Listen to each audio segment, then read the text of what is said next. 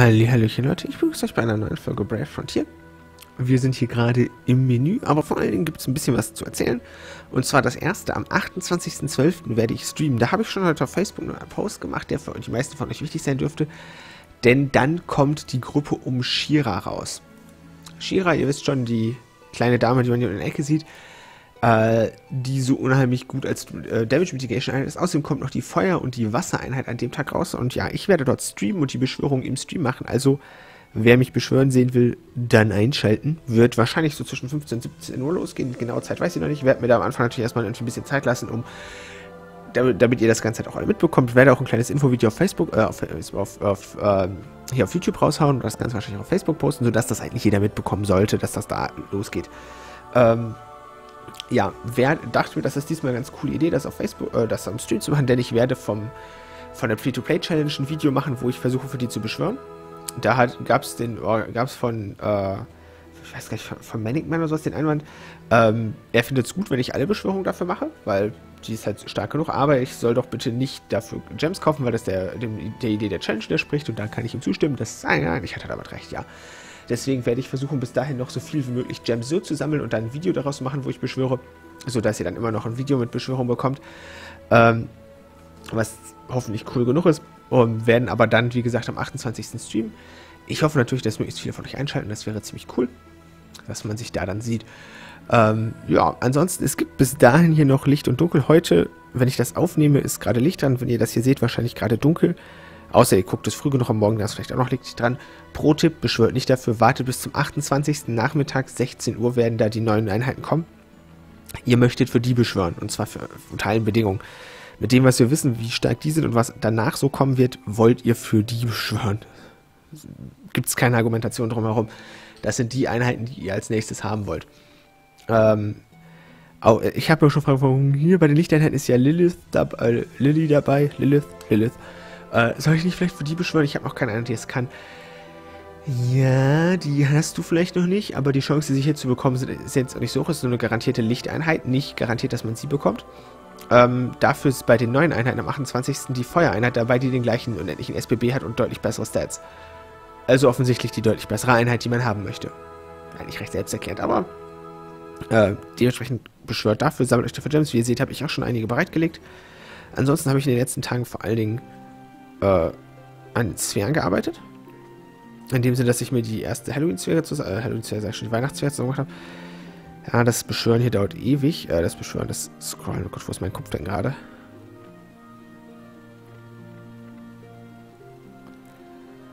Ganz hier kommen, dauert ein gutes Stück. Und drip, drip, drip, drip, drip. Wir haben sie natürlich wieder ganz so. Oh ja, ich habe einen Frozen Myth schon. Und ich muss sagen, da er danach die Diskussion kommt von mir, du sagst doch die ganze Kacke, warum machst du, du sie dir? Der Seiteneffekt von dem ist kacke, weil Ed's äh, Chance for BB Gorg Boost when it damaged, eine äh, 30% Chance auf 0 bis 1 äh, Brave-Kristall dazu, was aus den Daten bisher hervorgeht, das ist nicht viel. Ja klar, das ist ein scheiß Effekt, aber trotzdem sind es HP und Attack plus 20 und Death und Drag plus 30 das ist immer noch besser als ein Modular Jam. Das heißt, für all diejenigen unter euch, die noch keinen Modular Jam haben, oder sagen wir so, für all diejenigen unter euch, die noch nicht in Leg Ones schwimmen und dementsprechend sich noch Modulars verwenden, ist Frozen Myth einfach besser, weil es ist neben den gleichen HP und äh, Attack Boost immer noch ein höherer Death und Recovery Boost. Und ein kleiner Zusatzeffekt, der jetzt nicht wirklich wichtig ist, den man halt mitnehmen kann. Also natürlich sollte man die dementsprechend, wenn man es kann, sich machen, weil ist halt besser als ein Modular gleiche gilt für, für den Sacred Snow Globe, von dem ich mir jetzt auch noch den nächsten machen kann. Der ist halt besser als ein äh, Sacred Jewel. Wer also noch mit Sacred Jewel arbeitet, klar, sollte versuchen, das hier zu bekommen. Die sind nicht ganz einfach zu bekommen. Ich habe auf Free-to-Play-Challenge auch noch nicht versucht, sie zu befarmen. Einfach weil äh, ich da momentan an anderen Sachen noch arbeite, die mir persönlich wichtiger sind als die hier, nämlich vor allen Dingen Gems bekommen fürs äh, Beschwören. Und ich da sehr viel Aufwand reinstecken müsste, die hier zu bekommen. Also von daher, man, man braucht eigentlich, um die zu farmen, schon ein Doppel-Selnite-Team, sprich eigenen Selnite und Selnite-Freund oder so oft wie möglich Selnite-Freund, damit man davon genug von bekommt. Aber mit halber Energie kostet ein, braucht man 13 Energie für einen Durchlauf. Das heißt bei mir, ich kann mit, mit voller Energie 10 Durchläufe machen. Das habe ich jetzt ein paar Mal gemacht, habe damit heute auch schon Level abgemacht und werden wir auch gleich nochmal machen. Ansonsten, hier hortet sich ein Haufen Zeug. Also wirklich ein Haufen Zeug. Ja, connecte mal schnell. Ab und zu hat er das heute immer noch, dass er so Micro-Lags hat und hier einfach mal ein bisschen braucht, bis er das connectet. Was es mich doch ein bisschen ankotzt. Aber wo ich auch jetzt nicht wenig gegen machen kann. Ja, wir haben hier für die zweite TV-Commercial, sprich für die zweite TV-Werbung, die kam. Ich weiß gar nicht, ich bin mir gerade gar nicht mehr sicher. Doch, ich müsste es nicht auf Facebook geteilt haben, dass ihr die auch teilen soll. Ähm, ebenso Burst Rocks haben wir erreicht. Da habe ich gerade Burst Rocks, dafür ich die Gescheiße. Also die Imps sind ja schon super. Burst Rocks, da unten haben wir noch einen Satz Crystals. Dann haben wir noch diverse Giveaways für Schlüssel und halt den ganzen Zeug von der Thunder Vortex Arena. Ich habe da zwischendurch mal Burst Rocks bekommen und irgendwo nochmal Schlüssel und mehr von der Thunder Vortex Arena. Also ihr merkt, es ist hier gerade ziemlich überfüllt. Ich werde einen Teil davon wahrscheinlich einfach mal in Einheiten reinhauen. Aber gerade für die Joule-Schlüssel halt keine Veränderung, weil ich immer noch über eine Million Cell habe. Und wir warten auch immer noch auf die Ergebnisse von Frontier Hunter. Ich glaube, die sind für den 29. angesetzt. Yep. 29. abends, sprich am 30. gibt es dann die Zeug, wo ich aber noch drauf warte. Ich werde wohl Paris nicht bekommen, aber trotzdem sonst ein paar gute Sachen und vor allen Dingen dann die Möglichkeit weiterzumachen. Und ja, wir werden heute uns mal mit nochmal, mehr oder weniger, äh, der hier oben ist übrigens durch. Da gab es für mich, ich habe aus irgendeinem Grund noch eine Electric Blade bekommen keine Ahnung, wie ich zu Celebrated gekommen bin. Ich hatte auf einmal, irgendwie bin ich von 5000 auf 6000 Punkte oder irgendwas Punkte hochgestuft worden. Das kann sein, dass das die ganze Abrechnung für das war, was gefehlt hat, als die ihre Server-Bugs und Lags hatten und die Sachen nicht richtig berechnet wurden. Aber im Endeffekt, das ist jetzt mich auch nicht richtig, weil die Einheit da nichts wert ist, weil hat nur eine 5-Sterne-Form und die ist nicht besonders gut. Die soll zwar einfach eine 6-Sterne-Form bekommen, ja, aber das sollen viele Einheiten, das heißt nicht, dass sie dann gut werden. Wenn sie eine 6-Sterne-Form bekommt, wenn alles andere eine 7-Sterne-Form hat, dann ist sie halt auch wieder langweilig. Von daher, whatsoever brauche ich nicht wirklich. Ähm, ja, sonst noch vieles halbe Energie aus dem Boy Heaven, deswegen mache ich den nicht wirklich. Aber hier im Winterglades Event will ich euch zeigen, wie ich den Auto battlen kann. Denn wir haben ja letztes Mal ein Team gehabt, was gut darauf ausgelegt war, das zu schaffen. Problem ist, das Team äh, muss immer noch selber kämpfen. Ah, super, der Zelda ist kein... Äh, ist kein... Ihr wisst schon. Kann ich in der Volksliste. Generell Maxwell ist hier nicht die beste Wahl gegen. Für elementaren Schaden ja, aber für tatsächlichen Crit nicht, weil die Dinge am Ende alle Crit-resistent sind. Deswegen können wir auch diverse andere Dinge. Wir können ja auch einfach mal Dosenapfels. Äh, cool, und ja, er hier wäre zum Beispiel ein Kandidat dafür und sagen kann, die Sphäre ist eine Verbesserung, weil er hat einen Medulla Gem drauf und da wäre der Frozen Myth halt einfach stärker. Würde dem. Oh, SBB 2 und das ist leider auch ein Oracle, aber ich denke, man hat einfach keinen besseren bekommen. Aber trotzdem ist es ja, wenn man sich die Stats anguckt, immer noch saugeile Stats. So ist es ja nicht. Meiner ist Breaker, da bin ich auch jetzt von da kann man sich ja leider nicht aussuchen. Ähm, ja, aber wie gesagt, da wäre Frozen Myth eine deutliche Verbesserung sphärenmäßig für, weil halt dann mehr Death und Recovery. Und klar, er hat als Oracle schon viel Recovery, aber je mehr er hat, umso mehr heilt er. Und halt diese kleine Chance auf Babyfill, die jetzt nicht schlecht ist, aber okay. Und das ist sogar ein angenehmes Stage.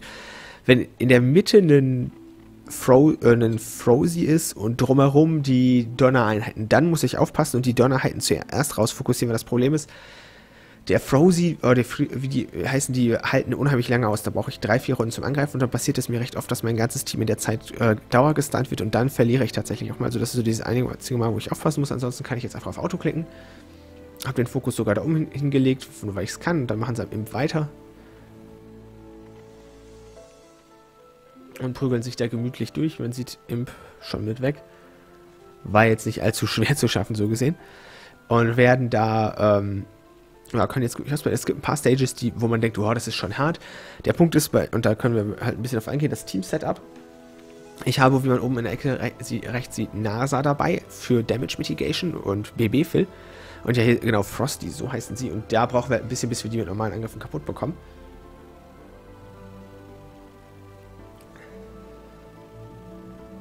Und ja, mit, mit BBS, BBS ist kein Problem, aber so dauert es halt ein bisschen. Muss daher bei der ersten Stage ein bisschen gucken. Ähm, ja, NASA dabei, weil ähm, wir brauchen Damage Mitigation für den Bosskampf in der allerersten Runde. Da haut der einen richtig harten Angriff raus. Und dementsprechend muss ich dort Damage Mitigation drin haben oder ich bin tot. Das ist der Rest nicht ohne Grund Wipeout. Und dafür habe ich mich für NASA entschieden. Man kann auch Darwin-Shell oder Ulu nehmen, klar.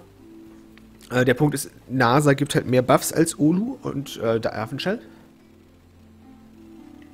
Ich muss hier ab und zu noch meine Nase verarzten. Ähm, gibt halt mehr Buffs, was natürlich praktisch ist, vor allem das Baby Refill. Darauf werden wir, äh, das ist halt dann an der Stelle praktisch, weil ähm, der Kollege einem ja den kompletten Brave Burst wegnehmen kann. Und wenn man dann irgendwie ein oder zwei Runden vorher Nase eingesetzt hat, kriegt man halt noch, wenn man angegriffen wird, Baby dazu. Damit füllt man sich deutlich schneller wieder auf. Und auch wenn man, selbst wenn er es nicht mitnimmt, kriege ich es damit hin, gegen Einzel recht gut, mindestens alle zwei Runden SBB einzusetzen. Im Auto-Battle-Modus. Und das ist halt zuverlässig gut. Das sollte man mitnehmen.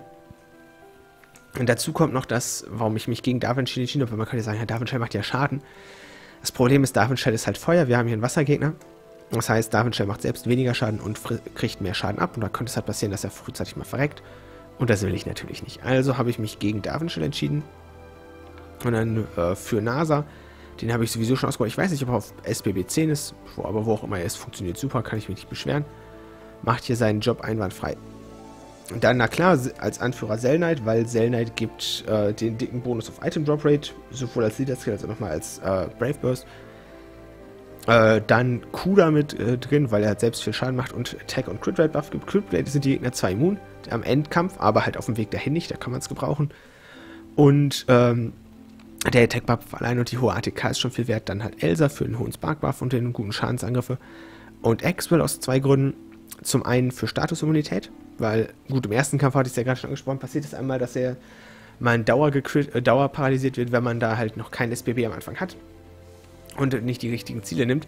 Für alle anderen Kämpfe danach könnte uns in der Theorie auch passieren, wenn die Gegner mehr als eine Runde überlegen und da ist halt Axel gut, weil der stellt einfach sicher, dass wir da nichts von bekommen. Und natürlich ist er halt ein Donner-Element, wir sind hier einem Wasserdungeon, das heißt, er macht gut Schaden daran. Hat auch 24 Angriffe im SBB.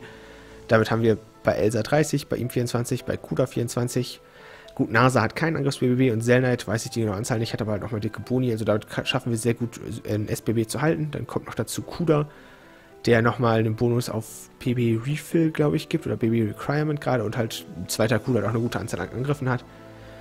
Damit kriegt man es halt sehr zuverlässig hin, ähm, hier durchgehend auszuhalten. Man kann auch einen Maxwell-Freund mitnehmen, wie gesagt. Äh, der Crit bringt einem am Bossgegner nichts, aber natürlich der elementare Vorteilschaden hilft Axel nochmal weiter. Und man hat natürlich den Vorteil von 33 Angriffen von Maxwell selbst. Aber ich wollte hier halt explizit auch zeigen, wie es auch ohne den Maxwell im Auto-Battle problemlos geht. Wenn ihr diese oder ähnliche Einheiten habt, halt wichtig ist, dass man einen Zell Knight hat oder zumindest einen Jack Frost für die Item Drop Rate, auch wenn Jack Frost halt nicht so gut ist. Einen Damage Mitigator, optimalerweise NASA. Dann zweite Wahl wäre bei mir Olu und Darvinshire tatsächlich letzte Wahl. Wobei Darvinshire, wenn man ihn als Freund durchaus mal mitnehmen kann zur Not, weil er dann auch noch Statusimmunität gibt, dann braucht ihr halt irgendeine Einheit für Statusimmunität. Lieblingswahl auf jeden Fall Axel, weil er halt viel Schaden an, Donner, äh, an Wasser macht und selbst weniger Schaden nimmt. Und da sieht man es jetzt, jetzt kommt Wipeout, wir haben Damage Replication und sind damit halt halb tot, aber leben noch.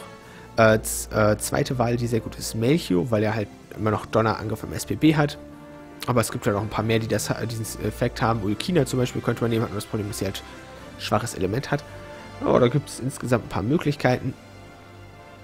Ähm, und Braun braucht dann natürlich noch ein paar Füllereinheiten sei es jetzt Kuda oder Else, da könnt ihr natürlich was anderes nehmen, wenn ihr zum Beispiel einen äh, Luca oder eine, nicht einen Luca, eine, äh, doch Luca geht auch für Tech Buff. Orna ist ja auch sehr gut, weil sie halt allen äh, Donner-Elemente hinzugibt.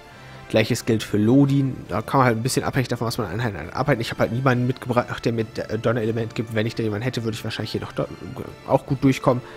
Also von daher gibt es da durchaus Optionen, aber ich wollte halt Kudas Attack Buff mitnehmen. Sonst hätte ich da wahrscheinlich Orna reingepackt und mit der gerockt. Das geht alles. Wichtig ist halt noch, wenn man hier so eine Runde sieht, alles normale Angriffe. Dadurch, dass wir einen Selnite-Anführer haben, haben wir eine erhöhte Herzkristall-Drop-Rate. Und damit sieht man es, wir heilen uns hier fast alle Probleme wieder voll. Wenn man Runden, in denen man noch einen äh, äh, Selnite-Freund mit hat, sind da top. Da hält man sich ohne Probleme komplett voll. Einfach durch die hohe Anzahl an Herzkristall-Drops. Und wenn Selnite sein SBB einsetzt, sind sie sogar noch mehr. Und man sieht jetzt gerade, wir sind hier wieder in der zweiten Runde, und, oder in der Wechselrunde. Letzte Runde hatten wir keine SBB, jetzt haben wir alle eingesetzt. Und damit halt zuverlässig wieder Mitigation an und viel Schaden gemacht. Haben ihn weg, wie man sieht.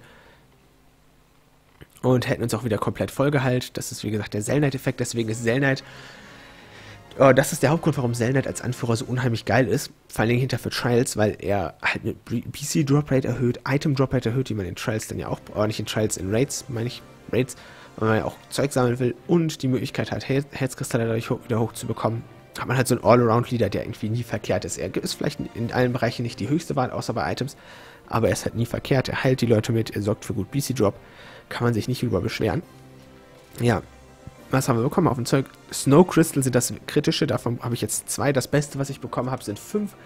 Teilweise bekommt man auch nur einen. Man, da wirkt es tatsächlich, weil man mehr Selnites mit hat. Also in Runden, in denen ich doppelt Selnite habe, habe ich meist vier. In denen, wo ich nur meinen eigenen habe, weil meine voller Lauf gebracht sind, habe ich so ein bis zwei Snow Crystal. Das sind die Dinger, die zum Craften das Kritische sind, weil man von denen am wenigsten bekommt. Im Verhältnis zu dem, was man braucht. Also Snow Jam, Miracle Frost und Snowflakes habe ich eigentlich immer genug. Können wir auch gleich noch einen Blick drauf werfen. Außerdem kann man hier auch Imps farmen, was sehr cool ist. Also gefühlt jeden fünften Run kriegt man ungefähr einen. Und da kann man sich auf jeden Fall nicht beschweren, kriegt halt mehr Imps dazu. So, Rate ist okay, ist jetzt nicht super hoch, aber ist in Ordnung. Äh, wo haben wir es denn? Sphäre nochmal, dann kann ich mal schauen, wie viel ich für den jeweils noch brauche, auch wenn ich dann wieder ganz durchlaufen muss, was ein bisschen anstrengend ist, weil ich meinen neuen Handyhalter verwende. Der ist super geil, aber er ist ein bisschen wackelig, was für solche Sachen unpraktisch ist. Ansonsten super cool, weil ich nicht mit so einem Kopf unten auf dem Tisch und am Mikrofon vorbeigucken muss, sondern ich kann direkt vom Mikrofon sitzen und sehe das Handy direkt dahinter. Das ist saugut. Ja, Sacred Snow Globe bräuchte 35. Ich habe jetzt wieder zwei. Ha, ich, hatte, ich war vorher auf 0. Interessant. Ich dachte, ich hätte noch ein paar mehr gehabt. Hm. Frozen Myth braucht nochmal, ich glaube, 50 genau. Also dementsprechend viele braucht man. Das kann dementsprechend lange dauern. Ich werde jetzt sehen, dass ich genug sammle für einen zweiten Frozen Myth. Und dann mal schauen, wie viel Zeit halt auch noch ist in den nächsten Tagen, von wie viel ich da noch machen kann. Natürlich empfiehlt es sich immer Level-Ups mitzunehmen, da man halt A, Level-Up ist immer gut und B, man kann dann halt noch mehr machen. Und ich würde halt wirklich empfehlen, ja, ich ärgere mich ein bisschen darüber, dass es dieses Add Chance of BB Go, Boost When Damage, dass das so unheimlich schwach ist, aber der restlichen Stats sind halt nicht schlecht. Also, wer sonst mit Modular Gem arbeitet auf seiner Einheit, der hat hier auf jeden Fall eine Verbesserung. Und wenn man es farmen kann, mit halber Energie kann man es halt gut machen. Man hat dann ein gutes Energie-zu-Kosten-Verhältnis was, also Energie zu XP-Verhältnis, man hat halt die Chance zwischendurch noch Imps zu farmen, was halt auch sehr viel wert ist. Ich kenne Leute, die haben, ähm, wie heißt das, The Speechmaker, das ist der Dungeon, den man Zerg findet, irgendwie ein paar hundert Mal gemacht, in der Hoffnung, dann Imp zu finden, um insgesamt drei Imps bekommen oder sowas. Und haben es trotzdem immer weitergemacht, einfach weil sie sich dachten, ja, irgendwas muss ich ja machen und da kann ich Imps farmen, auch wenn die Chancen gering sind. Hier sind die Chancen für Imps wesentlich höher, sodass sich das auf jeden Fall mehr lohnt. Außerdem kann man noch ein bisschen Karma verbrauchen. Wobei ich davon eh zu viel zu viel Vorrat habe, das ist also ziemlich egal. Ja, ansonsten hoffe ich, das hat euch heute ein bisschen gefallen. Ihr habt hier gesehen, wie man das ganze Auto-Battle kann zum Sammeln. Ich werde das in nächster Zeit dann noch weitermachen. Äh, ansonsten vergesst nicht, 28. Das ist jetzt der Sonntag, sprich, wenn das hier Video, Video herauskommt, wahrscheinlich schon morgen, äh, einzuschalten. Startuhrzeit zwischen 15 und 17 Uhr liegt so ein bisschen dran, wie lange ich schlafe und was ich vorher noch alles sonst so schaffen will. Äh, schaltet ein, wir werden da beschwören. Ihr seht ja, ich habe reichlich Gems da, die werden dann verbraucht. Auch wenn ich natürlich hoffe, dass ich möglichst früh sie bekomme und mich dann auf der sicheren Seite fühle. Will aber eigentlich alle drei von denen haben. Und ja, ich bedanke mich für heute fürs Zuschauen und hoffe, man sieht sich dann am Sonntag. Bis dann, Leute. Macht's gut.